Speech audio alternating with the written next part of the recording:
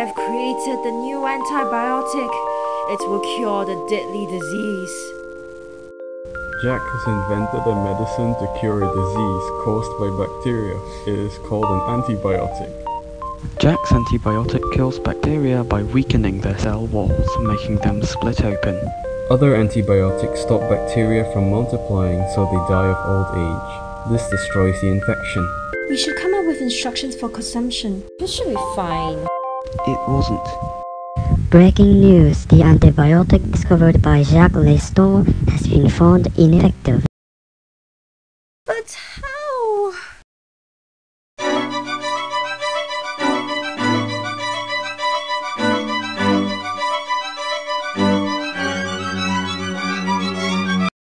Scientists have discovered the root of the resistance. And here we have Professor Lexton who has agreed to an interview. Well, as you can see, the bacteria have greatly evolved. And this could be due to two reasons. Firstly, this resistance can be spread to other bacteria cells by conjugation. Bacteria may also gain resistance from genetic mutations, which are extremely rare and spontaneous, enabling the bacteria to produce potent chemicals that inactivate the antibiotics.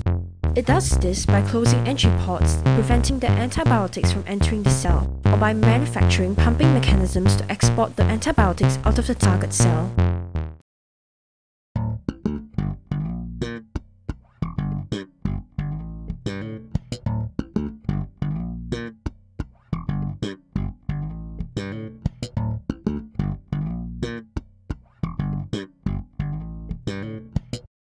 Holy chicken nugget!